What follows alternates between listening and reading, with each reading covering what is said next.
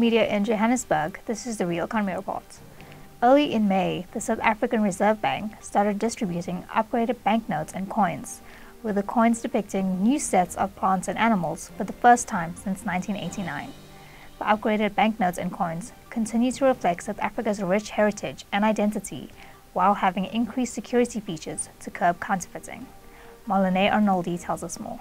Banknotes and coins must be upgraded periodically to remain aligned with international best practices and improvements in technology. Upgrading banknotes and coins is in everyone's interest as it preserves the integrity of the currency and curbs counterfeiting, which, if left unchecked, drives up inflation and erodes the value of money. Deputy Finance Minister David Masondo unpacks the importance of updating the security features of banknotes and the enormous risks and negative impacts of counterfeiting in the country. The improvements in the security features of these banknotes support the integrity of and the trust in our notes by assisting with the fight against counterfeiting which is essential for maintaining financial stability, investment, economic growth, and confidence in our financial system. The negative impact of counterfeiting cannot be overstated. To reiterate what the governor has already alluded to, currency counterfeiting is very costly for the economy and society as a whole. Counterfeiting necessitate central banks to spend considerable resources in upgrading and improving the security of bank notes. In addition, law enforcement agencies allocate substantial resources to detect, deter, and prosecute counterfeiting operations. Economic agents, that is households and businesses, suffer from a direct loss of counterfeiters and have to undertake costly preventative measures.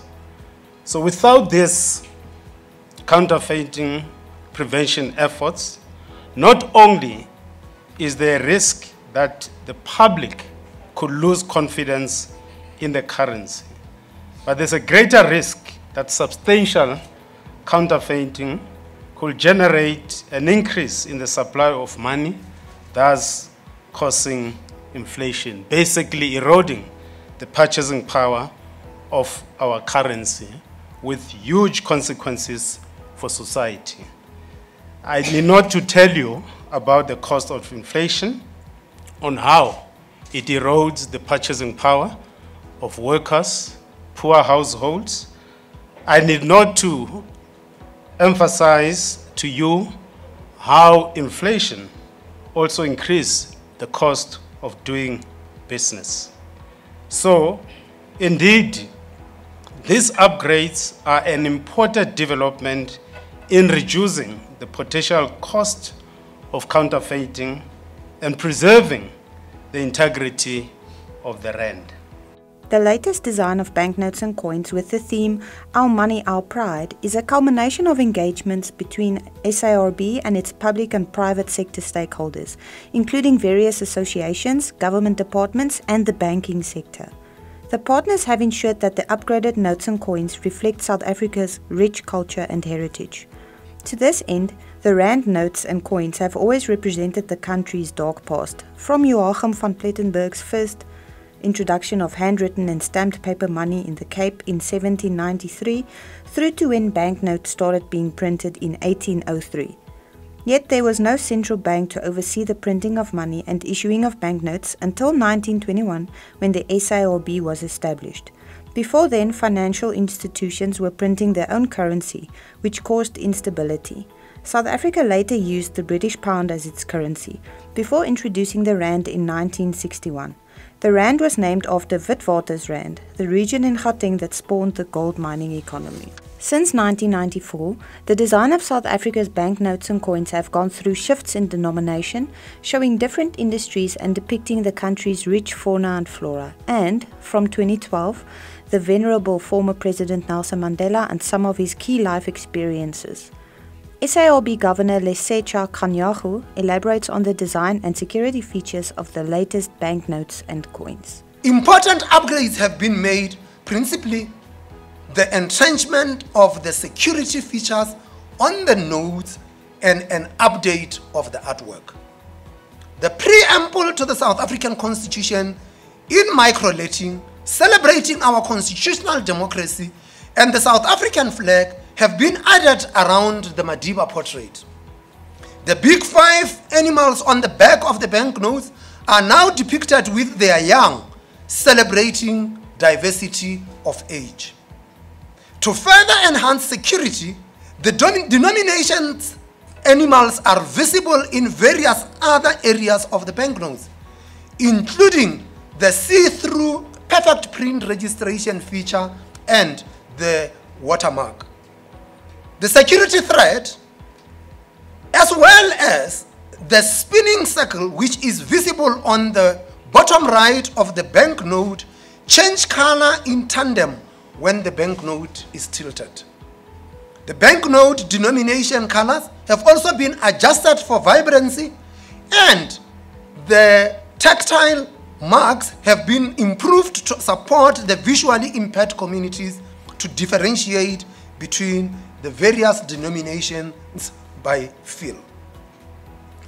The designs in the coin have been renewed from the last issuance in 1989. Each of the six coins in the coin series features an animal or plant. The 10 cents coin features the Cape honeybee. The 20 cents depicts the bitter aloe. The 50 cents illustrates the Knysna uh, turaco. And the 1 rand coin, the King Protea. The 2 rand coin, our, our national animal, the springbok. The southern right whale is shown on the 5 rand coin. The 5 rand coin includes a latent image that transforms from the word 5 to the word rand when tilting the coin, as well as the abbreviation SAB in microlettering on the inner circle of the coin. While the National Coat of Arms and the 11 official languages of South Africa have been retained on all coins, the one rand coin features the national flag instead of a coat of arms. I want to emphasize that the upgraded banknotes, um, Azania, upgraded banknotes, they are not new. The upgraded banknotes and coin will have the same value as the current banknotes and coin in circulation. And I want to encourage the public to transact with them. Both sets of currency will remain legal tender today into the future. That's Creamer Media's Real Economy Report. Join us again next week for more news and insights into South Africa's real economy. And don't forget to listen to the audio version of our Engineering News daily email newsletter.